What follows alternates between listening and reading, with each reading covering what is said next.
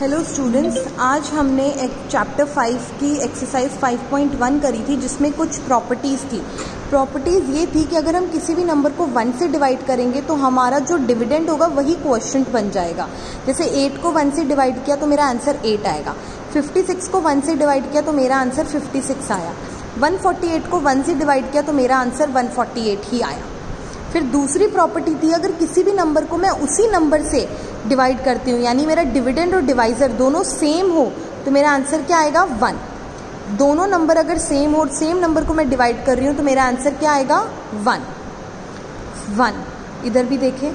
One one four hundred forty four को अगर मैं फोर हंड्रेड फोर्टी फोर से डिवाइड कर रही हूँ तो मेरा आंसर क्या आ रहा है? वन ही आ रहा है. अभी कुछ बच्चों को कन्फ्यूज़न है कि डिविडेंड क्या होता है डिवाइज़र क्या होता है क्वेश्चन क्या होता है। तो ये एक 18 को अगर मैं सिक्स से डिवाइड करती हूँ तो 18 मेरा डिविडेंड है सिक्स डिवाइज़र है थ्री क्वेश्चन है और ज़ीरो मेरा रिमाइंडर है। This is question and this is remainder this is not question and remainder this is question and this is remainder ठीक है? डिविडेंड डिवाइज़र क्वेश्चन रिमाइंडर फिर एक प्रॉपर्टी थी, अगर मेरा डिविडेंड सॉरी अगर मेरा डिवाइज़र ज़ीरो है डिवाइज़र ज़ीरो जैसे nine nine divided by zero तो मेरा आंसर क्या होगा? ये पॉसिबल ही नहीं है। आंसर कुछ होगा नहीं, क्योंकि डिवाइज़र कभी भी ज़ीरो नहीं हो सकता। डिवाइज़र कभी भी ज़ीरो नहीं हो सकता। तो ये पॉसिबल नहीं है, लेकिन हाँ डिविडेंड ज़रूर ज़ीरो हो सकता है, जैसे ये। ज़ीरो डिवाइडेड बाई सिक्सटीन करेंगे तो ज़ीरो आएगा। लेकिन अगर नाइन डिवाइडेड बाई ज़ीरो करोगे तो वो कभी भी, वो रॉन्ग है। ये ज़ीरो डिवाइडेड बाई सिक्सटीन तो ज़ीरो है, लेकिन सिक्सटीन डिवाइडेड बाई ज़ीरो ये पॉसिबल नहीं है। आपका डिविडेंड ज़ीरो हो सकता है, लेकिन आपका डिवाइज़र कभी भी ज़ीरो नहीं होगा।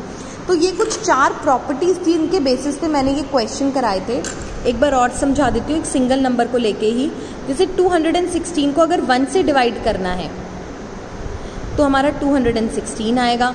216 को अगर 216 से करना है तो वन आंसर आएगा। 216 डिवाइज़र ज़ीरो है, वो पॉसिबल नहीं है। लेकिन अगर डिविडेंड ज़ीरो है और 216 से डिवाइड करना है तो मेरा आंसर क्या आएगा? ज़ीरो आएगा। तो इन चार प्रॉपर्टीज़ के हिसाब से मैंने आपको ये क्वेश्चंस कराए थे। फिर उसके बाद मैंने आपको सिखाया था टेन हंड्रेड एंड थाउज़ेंड से डिवाइड करना।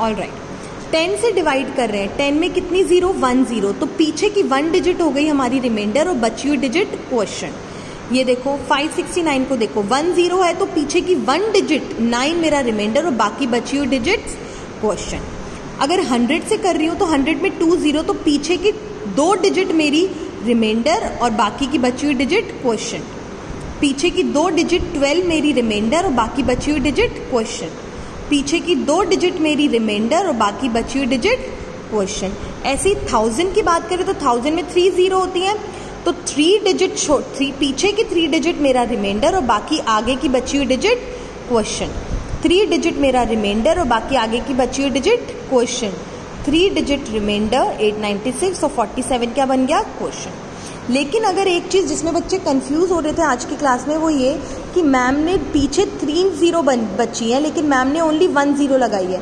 तो वो पॉसिबल है, चाहे आप थ्री ज़ीरो को सिंगल ज़ीरो भी लिख सकते हो डबल ज़ीरो को भी आप सिंगल ज़ीरो लिख सकते हो, कोई प्रॉब्लम नहीं है। देखो यहाँ थ्री ज़ीरो बची थी, लेकिन रिमाइंडर ज़ीरो ही लिखा। चाहे थ्री टाइम ज़ीरो लिखो, चाहे सिंगल टाइम ज़ीरो लिखो, बात एक ही है। तो इसी तरीके से मैंने आपको ये क्वेश्चंस कराए थे आज की एक्सरसाइज में। बाकी बचे हुए क्वेश्चंस आपके होमवर्क अच्छे से प्रैक्टिस करना, कुछ प्रॉब्लम हो तो आप मुझसे कॉल करके पूछ सकते हो. Thank you